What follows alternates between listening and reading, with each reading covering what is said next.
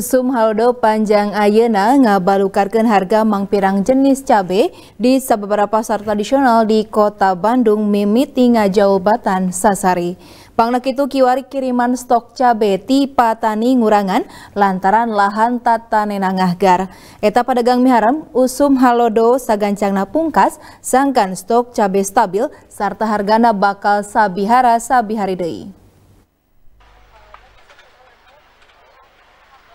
Harga mangpirang jenis cabai di Pasar Cicadas, Kota Bandung ngajaul sababarati kelen Batan Sasari. Naik nate tepikat 80 persen Batan Sasari.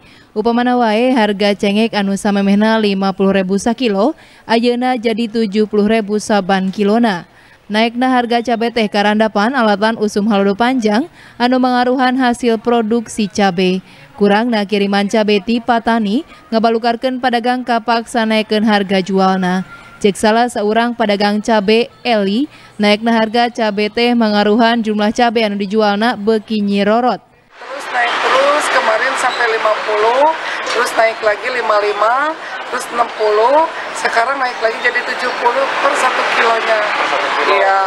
Itu ibu tahu nggak penyebabnya apa? Penyebabnya katanya kemarau, terus pasokan cengeknya sedikit. Hal anu sarupa karandapan di Pasar Kosambi, Kota Bandung. Harga cengek serta cabai berem ngajawel.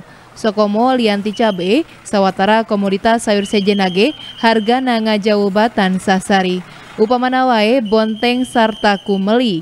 Eta pedagang pasar miharap usum halodo sagancang napungkas sangkan stok cabe stabil serta harga nabi sasabihara sabihari deui. Yuwana Kurniawan, Bandung TV.